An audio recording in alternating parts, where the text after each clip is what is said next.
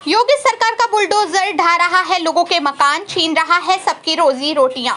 उत्तर प्रदेश की सरकार में अभी चंद ही दिन हुए हैं, सरकार बने हुए अभी प्रदेश की जनता की उंगली की स्याही हटी भी नहीं है कि योगी सरकार, भाजपा की सरकार ने गरीब लोगों की रोजी रोटी छीनना शुरू कर दिया है। बुलडोजर से लोगों के मकान, ठेला फड़ सब्ज़ी, सबको चीज़ें उजाड़ी जा रही हैं। गरीबों की दुकान व मकानों को गिराया जा रहा है। उजाड़े गए लोगों में भारी तादाद में गरीब लोगों की संख्या ज़्यादा है। जिन्होंने हाल ही में संपन्न हुए विधानसभा चुनाव में भाजपा को वोट दिया था और सरकार बनाने में अपनी अहम भूमिका निभाई थी। मुरादाबाद की कपून कंपनी के फल सब्ज़ी वालों को भी उजाड़ा गया है। भाजपा की योगी सरकार ने उजाड़ कर फल सब्ज़ी ठेले वालों के की सारी दुकानों पर बुलडोजर चलाकर खत्म कर दिया। हर सैकड़ों परिवार की रोजी रोटी छीन ली है। इन लोगों ने भाजपा को ही वोट दिया था। आज उनकी जीविका बचाने के लिए कोई भाजपा नेता आगे नहीं आया है।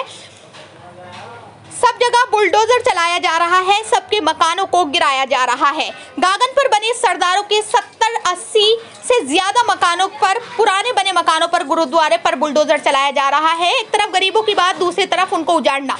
भाजपा को धोखा देने की पुरानी नीति है। बुलडोजर का कहर, सब लोगों पर छाया हुआ है, लोग परेशान हैं और लोगों में हाहाकार मचा हुआ है। मुरादाबाद से ब्यूरो रिपोर्ट।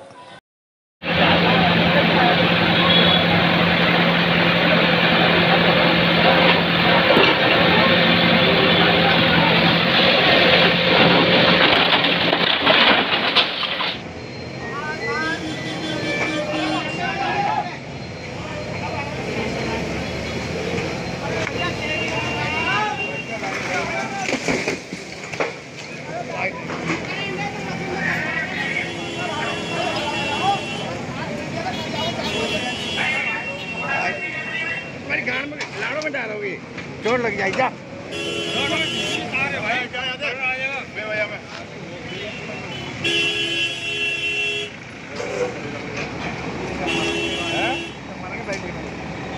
तुम बताओ कैसे तो मानना क्या है?